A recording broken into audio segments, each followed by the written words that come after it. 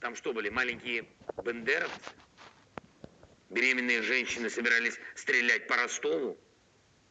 Кто-то в роддоме унижал русскоязычных? Что это было? Денацифікація больниці? Це вже за межою звірства. Усе, що окупанти роблять з Маріуполем, це вже за межою звірства.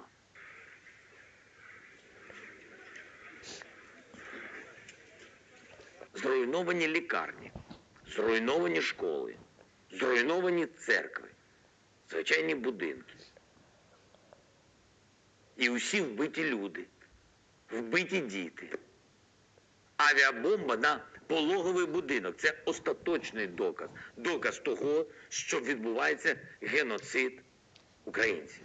Говорив сьогодні з президентом Європейської ради Шарлем Мішелем та президенткою Єврокомісії Урсулою фон дер Ляйн.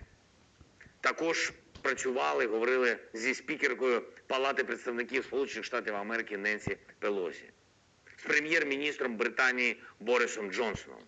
Дякую за підтримку, Борис. Партнери повністю поінформовані про те, що відбувається у нашому Маріуполі, і про ситуацію в усіх інших регіонах України, де тривають бойові дії. Працюємо, щоб Росія відчула наслідки своїх дій. Робимо все для того, щоб нарешті убезпечити наше небо. Я вдячний абсолютній більшості українців, які підтримують цю позицію, які збирають підписи, які переконують своїх знайомих на заході, пишуть у соцмережах, організовують мітинги.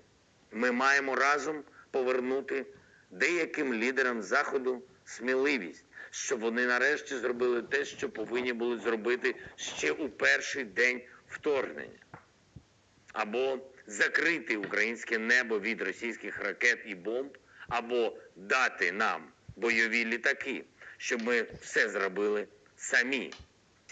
Ви не зможете сказати, що не бачили, що відбувалося з українцями, що відбувалося у Маріуполі з маріупольцями. Ви бачили, ви знаєте.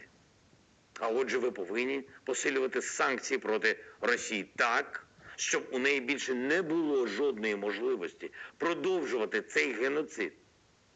Ви повинні тиснути на Росію так, щоб вони сіли за стіл переговорів і завершили цю звірячу війну. В Москве прекрасно знают, что Мариуполь – это Донецкая область. Тоже Донецкая область. Мы столько слышали от России о жителях Донецкой области, столько обвинений, столько требований. И мы видим сейчас, как в России на самом деле относятся к жителям Донецкой области.